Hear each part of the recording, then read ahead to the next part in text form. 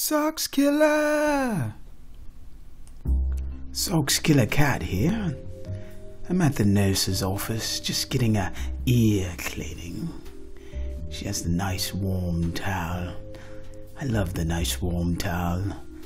Keeps me calm, happy, meditative. Hmm, it feels great. Make sure you get that wax out of there, human. Better to hear the socks crying in their sleep, in fear of me, the socks killer. Hmm, good job, human. The next one, please.